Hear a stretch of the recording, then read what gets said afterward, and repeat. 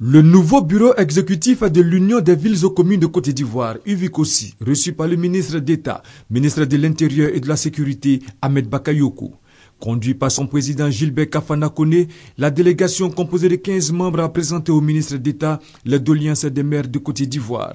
Nous sommes euh, disposés euh, à faire en sorte à ce que la décentralisation qui lui est confiée puisse aller de l'avant en apportant notre contribution en ce qui nous concerne.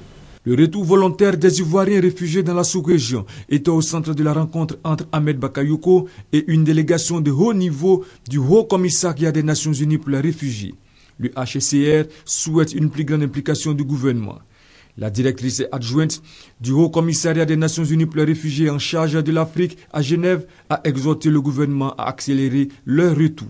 Nous remercions la collaboration avec euh, le ministre avec lequel nous venons d'avoir un très bon entretien pour accélérer le retour des réfugiés qui sont dans les pays limitrophes afin qu'ils puissent rentrer et contribuer à la construction et reconstruction de ce pays. Le ministre d'État, Ahmed Bakayoko, a dit l'engagement de l'État à collaborer avec le HCR pour accélérer le rapatriement des réfugiés et réfléchir également sur la stratégie de solutions durables pour le traitement de la question des réfugiés ivoiriens dans la sous-région.